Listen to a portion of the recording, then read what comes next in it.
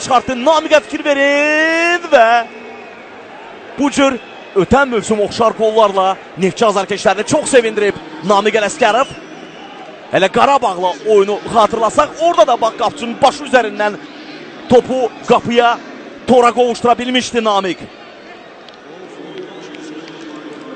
Təbii ki, Dinamo Tbilisi komandasının məşqçiləri və azarkeşləri qapçı Royun Kvaşvadzəyə sualları verecek.